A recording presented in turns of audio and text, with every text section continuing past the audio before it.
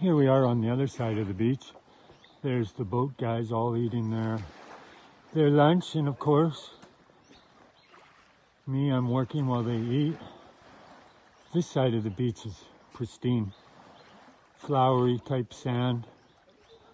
The monkeys, can you hear?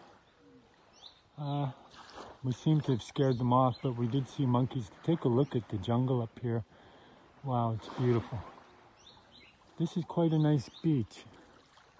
Um, the best area for building nipa huts is down at the other end where the rocks are. Over here, of course, we could have a few. Not many though.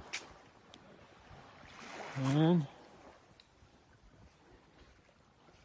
let's see if I can see any monkeys here. I'm going to name this Monkey Beach because there's quite a few monkeys. Okay, here's the end of it. You can see that sand is really nice. There's a good area here for building quite a few nipa huts, maybe six or eight small ones. Uh, and let's see, is there any monkeys up there? No, I really can't see any right now, but we did see, look like about 10 up here on the rocks earlier.